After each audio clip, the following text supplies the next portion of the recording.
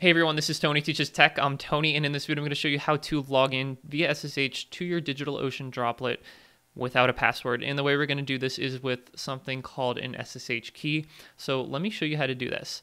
All right, so I'm here in my DigitalOcean dashboard, and what I'm going to do is to create a new droplet, and it really does not matter what type of droplet we're creating here. I'm just going to do the $12 per month Intel. Uh, droplet, right? So, um, but the, the part that we're interested in is down here under the authentication section. There's typically two ways that you can authenticate with a droplet, meaning the how, how are we going to log into the droplet? Are we going to type in a password, which is this option here? You can create a password. That's probably what you're used to. Or you can create an SSH key that's going to live on your computer. It's going to be a public private key pair. Um, and you're going to basically tell DigitalOcean about the public key so that when it goes and you know does all that cryptography behind the scenes and matches the public key with the private key, uh, then you are authenticated without even having to do anything because your public key private key acts like a token and um, as long as you're on your computer then you can access your droplet. So let's go ahead and set that up. I'm going to click on new ssh key here and it pretty much walks you through it. Uh, it's going to be different for Windows users, and there's instructions specifically for them right here.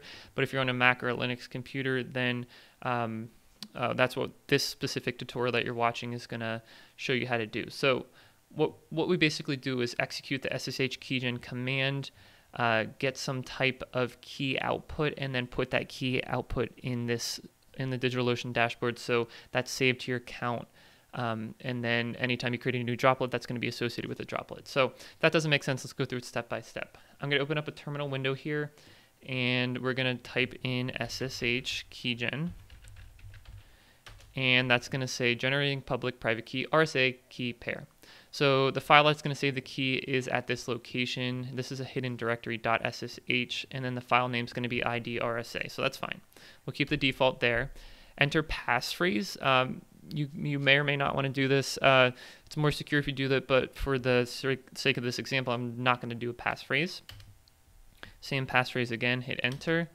And now our key has been generated. So here is our public key at this location. Now we can copy that and uh, we're going to use the uh, cat command to look at the contents of that file. So cat and then that path dot ssh idrsa.pub, hit enter and this is what my public key looks like. So I'm going to pretty much copy this entire thing, minimize this, and paste that right into there. I'm going to call this, you can call it whatever you want. I'm going to call mine MacBook Pro. And I'm going to add that SSH key to my DigitalOcean account. Now, the one thing that uh, I mentioned also is that there's a public and a private key. So that is my public key. My private key is right here. Okay, so this is something that you never want to show anybody. You always just you just want to keep it on your computer. Don't don't copy and paste that one up to DigitalOcean. The one that you only want to share is the public key, public key, not the private key. So we won't look at that. Uh, we will look at this one. Okay, so that key has been added to our DigitalOcean account, and now we can either associate that with the droplet or not. So I'm going to do that because that's what the tutorial is about and then we're going to create this droplet. So that's going to go ahead and instantiate the droplet. It takes mm, 20 seconds, so we'll fast forward through that. Okay, and that droplet has been created with this IP address right here. So I will copy that, and here is where the magic happens. So now we can go ahead and SSH into this droplet with SSH root at the IP address. And typically at this point, you would be prompted for a password. But because we have the, uh, the SSH key associated with this droplet, we won't have to do that and we'll just be logged directly into our Ubuntu server. So let's go ahead and try it out. Hit enter. Uh, first time only. It'll ask you about trusting the connection. You can go ahead and type yes. And bam, we are in Ubuntu. This is uh, our Ubuntu droplet with the one CPU core, two gigabytes of RAM in the New York City data center. So we'll exit out of that and just for another test, let's go ahead and SSH in. No user interaction here, no password typing. We're back into the Ubuntu server.